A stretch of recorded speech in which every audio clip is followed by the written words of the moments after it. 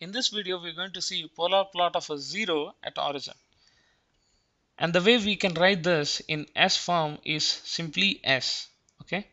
Now, for plotting a polar plot, we substitute S with j omega and vary omega from 0 to infinity and take magnitude and phase angles of this function, okay, which is here simply S and plot it on a complex plane.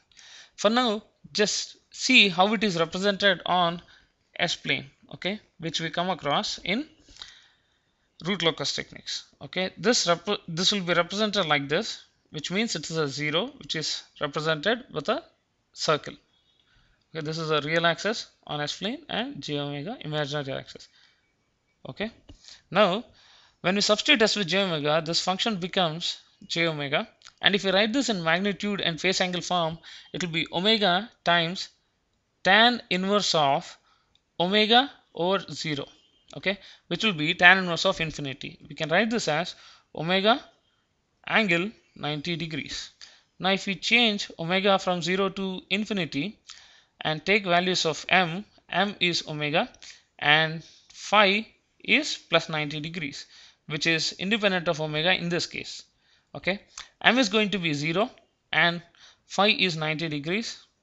And if we change omega m is going to increase proportional to omega because m is omega okay? So when omega tends to infinity m tends to infinity but the phase angle is not going to change which is going to be same 90 degrees. If you represent this on a complex plane okay we have seen already the angle measured in the anti-clockwise direction is positive okay? And the angle measured in the clockwise direction is negative okay so if here we see that it is plus 90 degrees all the time. So if you look at this, if we have a point on this imaginary axis that is positive imaginary axis, then the angle will be 90 degrees on this line. Okay, on this line the angle will be 90 degrees plus 90 degrees. Okay, so the whole plot is going to be only on this imaginary line.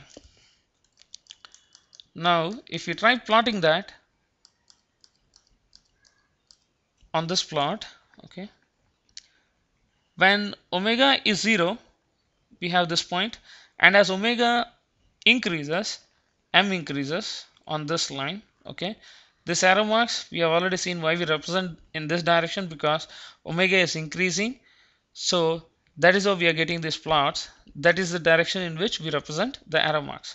So it increases towards infinity.